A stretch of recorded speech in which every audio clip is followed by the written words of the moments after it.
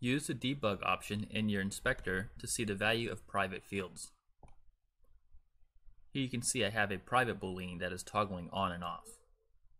To hide fields from your inspector, use system.nonserialized instead of hide in inspector to ensure that the value cannot accidentally be written to disk.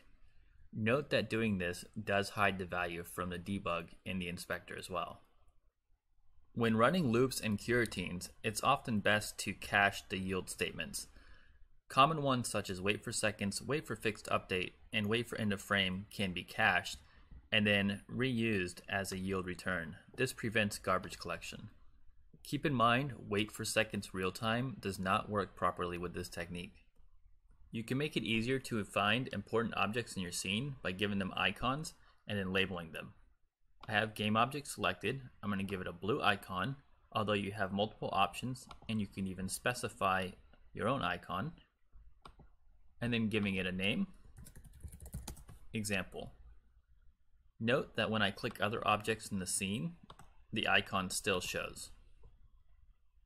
You can expand or collapse entire hierarchy trees by holding Alt and clicking the arrow left of the object.